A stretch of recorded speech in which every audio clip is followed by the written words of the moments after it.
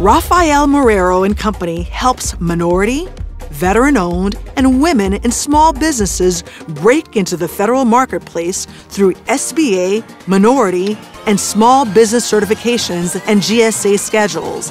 The firm's management professionals are well versed in advanced marketing services aimed at the federal level and prepare companies for future growth and capacity planning.